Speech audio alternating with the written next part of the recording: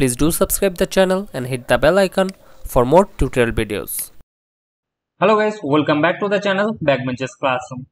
Guys, today I will show you how to set up mobile number format and validate it by error message if there is any wrong input to the mobile number input field.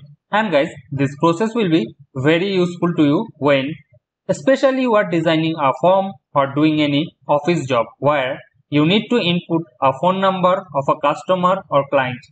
Guys, as you can see, here are some name are listed, okay, and here is the mobile number field.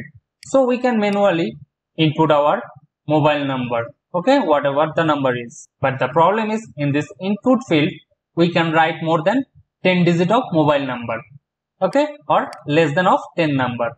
Suppose you are dealing with a lot of data, then it's possible to make mistakes while inputting the phone number. As we are human, we make mistakes.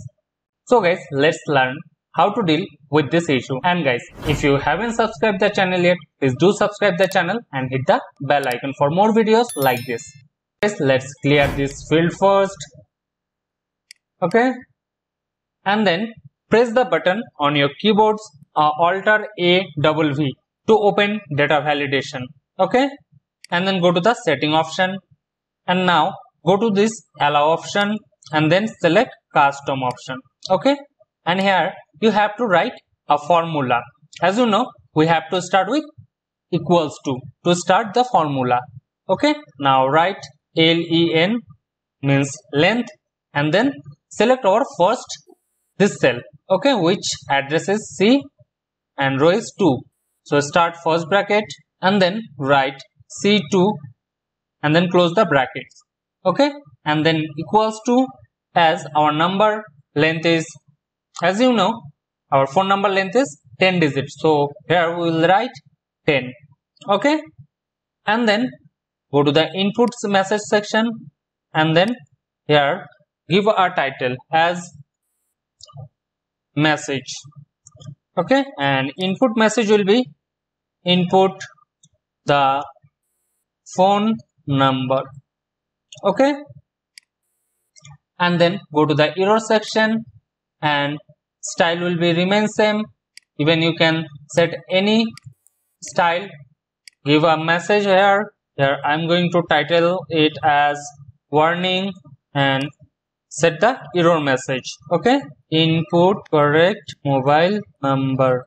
Okay? And then click on ok button now guys, as you can see here is the our first cell message. Now let's take your cursor to the corner of this cell and drag the cell like this to copy the code to all the cells. Okay. Now here we have to write a phone number. Okay, let's input as 21074574667.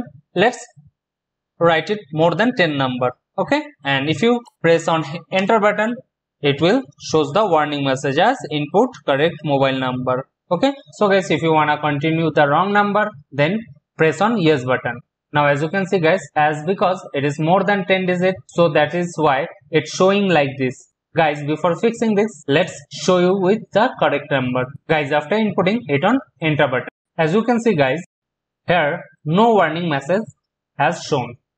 And guys now i will show you how to fix this issue. Okay guys you can either select the column or select the particular cell.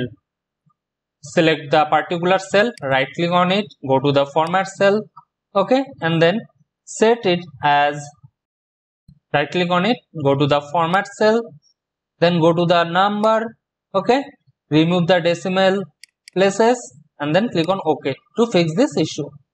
So guys that's how you can validate all the phone numbers and set a cell as mobile number format.